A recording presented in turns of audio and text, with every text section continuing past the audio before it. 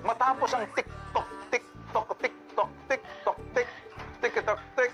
Ewan natin kung may pareho sila may damit. Mm, oh, siguro. eh, may, hindi na aktuhan. Ang gusto mangyari ni Mrs. matanggalan ng lisensya si teacher sa kasong immorality.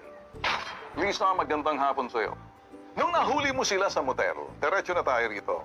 Bakit inantay mo pa ng ganong katagal? Pumasok sila ng... Anong oras sila nag-check-in nang sinundan mo? At yung para, tricycle nakaparada sa labas, anong oras sila nag-check-in? 240 po, around 230 to 240 po nang pumasok po yung tricycle. Pinuntahan ko po muna ang, hinging, hinging po muna ng tulong ng barangay na Tapos, nasasakupan po. Tapos yung pong barangay na po ang tumawag po ng assist sa police po. sa police. Okay. Mula sa police station kasamang barangay, diretso na agad kayo sa motel. Tama? Opo, tama po.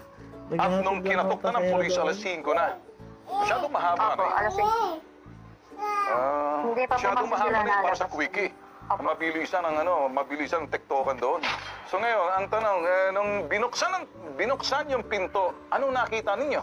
Nakita ko na po lumabas ang asawa ko, nakabihis na.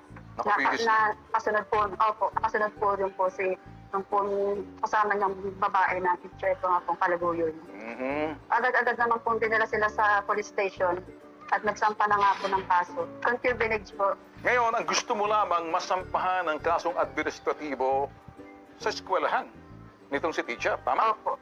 Nasaan si Mr. Na- kanina ang tinatawagan namin? Kasi pumayag naman siya. Nasaan siya? Ang pagkakaalam ko po kasi ngayon ay araw po ng pasada niya, namamasada po siya. Kasi po pag yung time na namamasada siya, doon siya nakaka nakaka-give na makipagkita po sa kanyang palaguyo. Sige, tinawagan namin, pakinggan mo kami, no? Tinawagan namin ang principal kasi hindi namin matawagan si Jonah Rotor Reyes at hindi sinasagot yung telepono.